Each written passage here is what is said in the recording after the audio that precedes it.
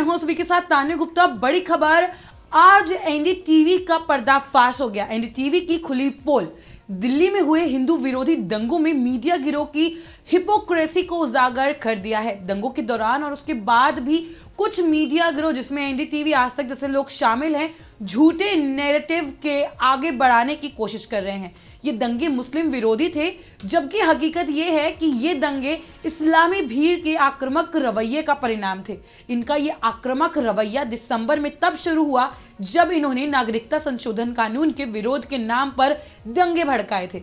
ऐसे कई चैनल पत्रकार और पोर्टल्स भी हैं, जिन्होंने दिल्ली के दंगों के बारे में झूठ नैरेटिव को आगे बढ़ाया। हालाँकि एनडीटीवी वो चैनल है जिसने प्रभावी रूप से इस नैरेटिव को नेतृत्व किया। इसी कड़ी में बात अब कपिल मिश्रा को घेरने तक के प्रोपेगेंडे की पहुँच गई है। दिल्ली के दंगों के लिए बीजेपी नेता कपिल मिश्रा को दोषी ठहराने वाला ये मीडिया समूह किस भी हद तक जाने को प्रतिबंध दिखाई दे रहा है। बता दें कि 22 जनवरी को जाफराबाद और चांदबाग में रोड बंद किए जाने के खिलाफ सड़क पर उतरे कपिल मिश्रा ने कहा था, दिल्ली पुलिस तीन दिन में रास्ते को खाली कराए। अमेरिका के राष्ट्रपति डोनाल्ड ट्रंप के भारत दौरे के बाद वापस जाने तक हम यहाँ से शांतिपूर्वक जा रहे हैं। लेकिन अगर तीन दिन में रास्ता खाली नहीं हुआ तो हम फिर सड़कों पर उतरेंगे। मीडिया उनके इस बयान पर हावी हो गई और कपिल मिश्रा को घेर के उन पे दंगे भड़काने के ऐसे आरोप लगाने लगी और उनको दोषी ठहराने की कोशिश करने लगी, जिसमें अब सच सामने आ गया है। ऐसा करके उन्हें निश्चित रूप में उन इस्लामवादियों को एक ढाल दिया जिन्होंने और अधिक भड़काऊ बयान दिए थे। शरजील इमाम ने दिल्ली को बंद करने और देश को तोड़ने के बारे में बात कही थी और हकीकत में उमर खालिद जैसे देशद्रोहियों ने लोगों को सड़कों पर आने के लिए कहकर हिंसा भड़काई थी। उन्होंने लोगों से दरख्वास्त की थी कि वो आए और आज़ादी छीने, उन्हें मांगने से नहीं मिलेगी। वो भी तब जब डोनाल्ड ट्रंप को यहाँ, यानी कि इंडिया में आना था। इसके अलावा वारिस पठान ने भी एक बहुत ही विवादित बयान दिया। उन्होंने कहा कि हम पंद्रह करोड़ हैं, लेकिन सौ करोड़ पे भारी है। अमनतुल्ला खान तो पहले ही हिंसा भड़काने का मामला दर्ज है। मीडिया ने हिंसा के लिए उकसाने वाले इन सभी लोगों को बचाते हुए कपिल मिश्रा को दोषी ठहराने की ओवर टाइम काम किया, जो कि है एनडीटीवी एनडीटीवी ने इसकी अगुवाई करते हुए 6 मार्च को एक वीडियो पब्लिश किया, जिसमें उनको एक झूठ बोलने वाले एंकर श्रीनिवास जैन कपिल मिश्रा के मकान मालिक से बात कर रहे थे। वीडियो में संजय गुप्ता नाम के एक शख्स की बात की जा रही है।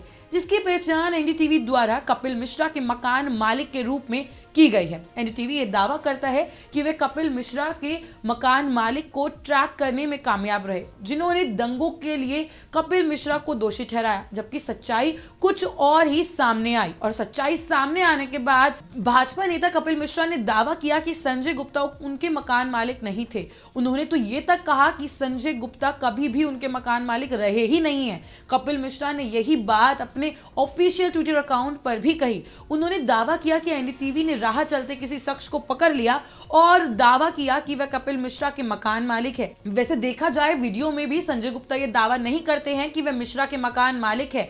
गुप्ता जिस तरह से बोल रहे हैं, उससे लगता है कि वह प्रॉपर्टी ब्रोकर हो सकते हैं। मकान मालिक नहीं, लेकिन अब सच सामने आ गया है और वो प्रॉपर्टी ब्रोकर ही थे इसके साथ ही कपिल मिश्रा ने बातचीत करते हुए ये भी कहा कि एनडीटीवी के एंकर श्रीनिवास जहाँ पर खड़े हैं, वह जगह भी उनका घर नहीं है, जहाँ कपिल मिश्रा रहते हैं।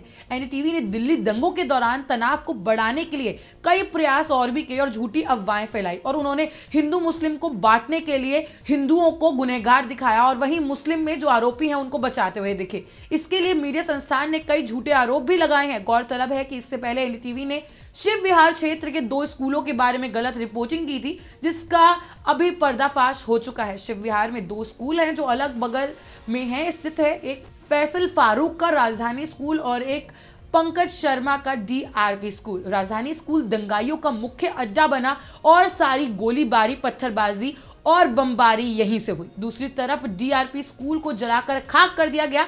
राजधानी स्कूल के ऊपर से रस्सी के सहारे उतरे दंगाइयों ने डीआरपी स्कूल को भी फूक दिया। आपको बता दें कि जो तहकीकात जब सामने आई है उसमें अब सच सामने आ गया है कि जैसे स्कूल में तोड़फोड़ हुई थी, उसमें ये सभी लोग आरोपी हैं, जो अपने आप को शरणार्थी मानते हैं। वो शरणार्थी नहीं, दंगाई हैं, साथ ही साथ वो आतंकवादियों की सोच वाले इस इंसान हैं, जो सिर्फ़ अपने आप को मुस्लिम कार्ड खींच के बचाने की कोशिश करते हैं। वहीं एनडीटीवी ने बिना किसी सबूत के दावा किया कि वे ये मुस्लिम स्वामित्व वाला स्कूल है, जिस पर सबसे पहले हिंदू लोगों ने हमला किया था। ये हिंदुओं का फंसाने की एनडीटीवी की एक नई साजिश थी, जिसका पर्दाफाश हो चुका है। आपको बता दें कि एनडीटीवी शुरू से ही ये काम करे जैसे कि उसने अनुराग मिश्रा को भी पहले फंसाया था। शाहरुख पठान, जिनने आठ राउंड फायरिंग की थी, साथ ही साथ आपको बता दें कि फर्जी पत्रकार जैसे कि रवीश कुमार, साथ ही साथ एनडीटीवी के बहुत सारे एंकर और एनडीटीवी चैनल पूरा फर्जी है, जिसको अब सोशल मीडिया पे काफ़ी ट्रोल भी किया जा रहा है। आपको बता दें कि इससे पहले एनडीटीवी के रवीश कुमार पत्रकार ने बिना किसी जाँच पड़ताल के लिए झूठा भ्रम फैलाते हुए एक बेगुनाह एक बेगुनाह हिंदू को फंसा दिया था। वो हिंदू मुस्लिम की तुष्टिकरण इतना ज़्यादा करते हैं और वो इतना सांप्रदायिक सहोद्र को खराब करने की कोशिश करते हैं कि वो एक मुस्लिम, यानी कि जो आरोपी है, दंगाई है सिर्फ़ उसको मुस्लिम कार्ड खेल के बचाने की कोशिश करते हैं, जो कि शाहरुख पठान है। शाहरुख पठान गिरफ़्तार कर लिया गया जिसने दीपक दहिया पुलिस वाले पर गोली तान दी थी, उसने आठ राउंड फायरिंग की थी, उसने, और उसके बाद वो भीड़ में लापता हो गया था और भीड़ में कहीं जाकर छुप गया था। इसके बिना जाँच पड़ताल के रवीश कुमार जैसे फर्जी पत्रकार और एनडीटीवी फर्जी चैनल ने एक अनुराग मिश्रा नाम के इंसान को फंसा दिया था और उन पर ऐसे ही मनगढ़ आरोप लगा दिए थे। ये एनडीटीवी का शुरू से ही काम रहा है कि वो हिंदू मुस्लिम में बहुत ज़्यादा फ़र्क करता है और वो मुसलमानों को बचाने के लिए हर हद तक गिर सकता है। जैसे कि कपिल मिश्रा को कोई हाथ नहीं था, लेकिन कपिल मिश्रा को फंसाने के लिए हर मुमकिन कोशिश कर रहे हैं एनडीटीवी प्रोपेगेंडा के तहत। वही ताहिर हुसैन, जिसके खिलाफ सोशल मीडिया पे इतनी वीडियो वायरल हुई है, ताहिर हुसैन गुनेगार है, वो इतनी दंगाइयों के साथ दिख रहा है, साथ ही साथ पिस्टल दिख रही है उसके घर पे इतने सारे दंगाई दिख रहे हैं। वहाँ तब भी उसको बचाते हुए वो अभी भी ताहिर हुसैन को एनडीटीवी जैसा चैनल हीरो दिखा रहा है और साथ ही साथ कपिल मिश्रा, जो कि बे, बेकसूर हैं, बस वो बीजेपी के सांसद है, इसलिए उन्हें फंसाने की कोशिश कर रहा है। तो आप देख सकते हैं किस तरीके का एक एनडीटीवी का एक प्रोपेगंडा था कि कैसे केंद्र सरकार को घेरे और केंद्र सरकार के जो बीजेपी के कार्यकर्ता हैं या बीजेपी के नेता हैं, उनको कैसे फंसाएँ और मन गरम उन पर आरोप लगाएँ। एनडीटीवी एक इतना फर्जी चैनल है जिसने बिना किसी जाँच पड़ताल के किसी पर भी आरोप लगा दिया। आपको बता दें कि कपिल मिश्रा को फंसाने के लिए वो इतना नीचे तक गिर गए कि वो उनको इतना ज़्यादा एक हिंदुओं से प्रॉब्लम है एनडीटीवी फर्जी पत्रकारों को, रवीश कुमार को, कि उन्होंने कैसे ताहिर हुसैन को बचा के कपिल मिश्रा को फंसाया, जैसे कि उन्होंने सड़क से कोई भी इंसान उठा के एक बिना जाँच पड़ताल के उसे कपिल मिश्रा का लैंडलॉर्ड यानी कि मकान मालिक घोषित कर दिया। बाद में जब असल जाँच पड़ताल हुई और लोगों ने देखा, तब साफ़ सामने आ गया और पता चल गया कि वो सिर्फ़ एक लैंडलॉर्ड नहीं, बल्कि उनका ब्रोकर था। यानी कि वो एक मकान मालिक नहीं, मकान दिलाने वाला था, जिसके बाद बहुत सारी ट्विटर पे इमेज वायरल भी हो रही है। साथ ही साथ आप पिक्चर्स में देख सकते हैं, साफ़ तस्वीरों में कि कैसे उनके साइंस दिख रहे हैं साथ साथ एज अ ब्रोकर तो प्रॉपर्टी ब्रोकर था जिसको उन्होंने दिखाया। तो आप देख सकते हैं कपिल मिश्रा को कैसे फंसाया जा रहा है, क्या प्रोपेगेंडा है रवीश कुमार और फर्जी चैनल एंड टीवी का, कि वो कैसे बेगुनाह कसूरवारों को सिर्फ़ वो हिंदू है, उनका गुना यही है और वो उनको फंसाने पे तुले हुए हैं। आपको बता दें कि जो असली दंगाई है, उसको बचाने की हर मुमकिन कोशिश कर रहा है एनडीटीवी साथ साथ रवीश कुमार, जैसे कि ताहिर हुसैन, शाहरुख पठान और उन दंगाइयों को बचाने के लिए हर हद तक गिरने को तैयार है। एक और बड़ी खबर रामपुर में सपा सांसद आज़म खान के ऊपर एक और ताबड़तोड़ ताबड़तोड़ कानूनी एक्शन, एक के बाद एक शिकंजा कसता जा रहा है। आपको बता दें कि योगी सरकार उनके ड्रीम प्रोजेक्ट पर जल्द ही कब्जा कर सकती है। आपको बता दें कि इसी के तहत जिला प्रशासन ने राज्य शासन में रामपुर में स्थित जौहर यूनिवर्सिटी को शासकीय नियंत्रण में लेने का प्रस्ताव भेजा है।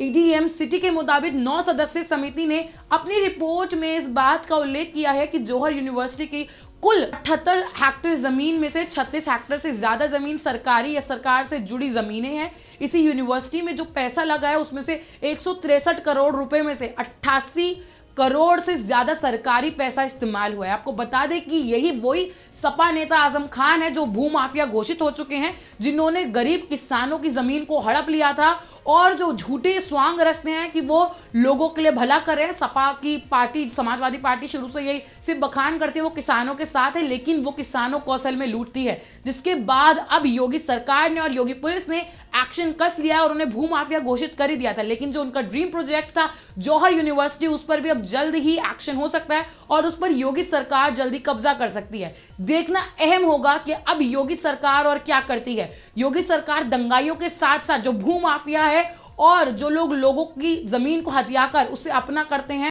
और लोगों को गरीब किसानों को प्रताड़ित किया जाता है, उसके हक में अब योगी सरकार एक्शन मोड में दिख रही है। अब योगी सरकार जल्द ही कोई सख्त सख्त कदम उठाएगी और आज़म खान को उनके कर्मों की सजा मिलेगी। वहीं दूसरी तरफ़ अगर बात की जाए, दिल्ली के दंगाइयों का भी हाल बद से बदतर होने वाला है। दिल्ली पुलिस एक्शन मोड में आ गई है और जो फर्जी पत्रकार या फर्जी चैनल है एनडीटीवी आज तक जैसे, उनके खिलाफ भी अब ये मांग उठ रही है कि सख्त सख्त कदम उठाए, क्योंकि वो प्रोपेगेंडा के खिलाफ लोगों को बरगला रहे हैं, लोगों को भटका रहे हैं और लोगों को हिंदू मुस्लिम में फंसाकर जो दंगाइयों को बचाने की कोशिश और बेगुनाह को फंसाया जा रहा है, इसका सच भी अब सामने आ गया है। जैसा कि ट्विटर पे बार बार देखा जा रहा है और लोग इतने जागरूक हो गए हैं और लोग इसके खिलाफ आवाज़ उठा रहे हैं। मैं फिर लौटूँगी देश और दुनिया की तमाम बड़ी खबरों के साथ। तब तक बने रहे हमारे चैनल के साथ।